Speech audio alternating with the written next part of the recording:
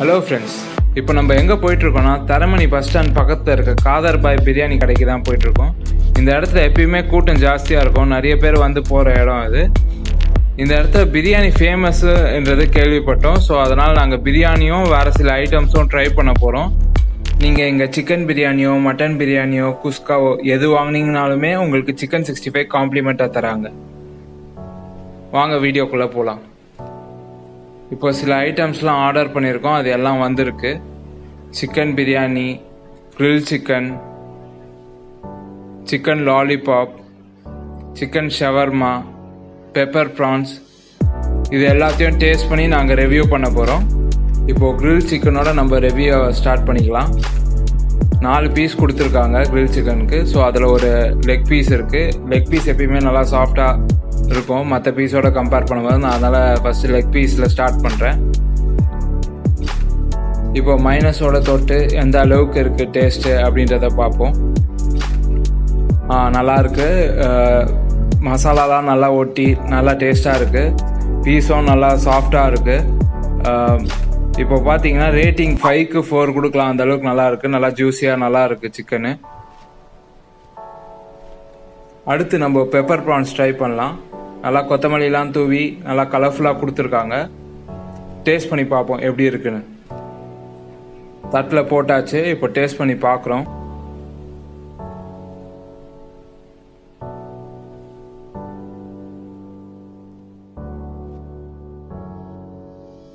இது ஆவரேஜாக தாங்க இருக்கு. இதுக்கு பார்த்தீங்கன்னா ஃபைவ்க்கு த்ரீ கொடுக்கலாம். அந்த அளவுக்கு தான் இருக்கு. ரொம்ப சூப்பர்லாம் சொல்ல முடியாது. ஓகே அந்த அளவுக்கு தான் இருக்குது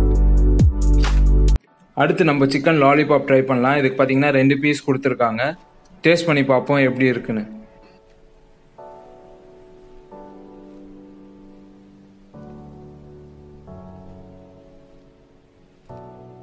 டேஸ்ட் எல்லாம் நல்லா இருக்கு. மசாலாலாம் கரெக்டாக ஒட்டி நல்லா இருக்கு. ஆனால் பார்த்தீங்கன்னா சிக்கன் ரொம்ப ஆடாக இருக்கு சாஃப்டாக இல்லை.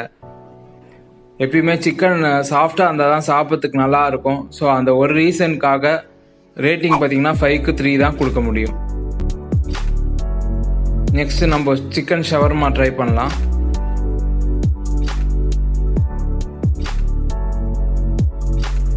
பேப்பர்லாம் எடுத்தாச்சு. டேஸ்ட் பண்ணி பார்ப்போம்.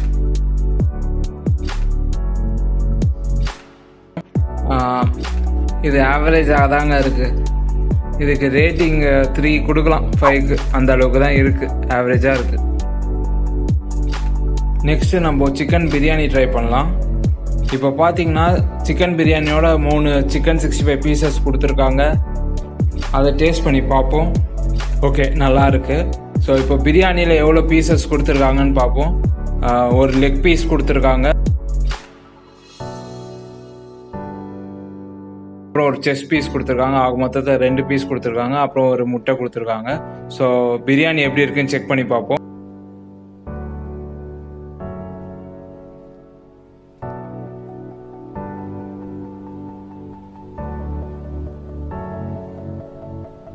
நல்லா இருக்கு இதுக்கு ரேட்டிங் பார்த்தீங்கன்னா ஃபைவ்க்கு ஃபோர் பாயிண்ட் ஃபைவ் கொடுக்கலாம்.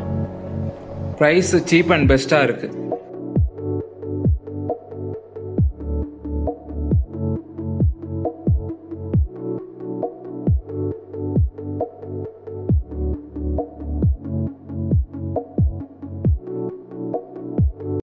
Boxes. uh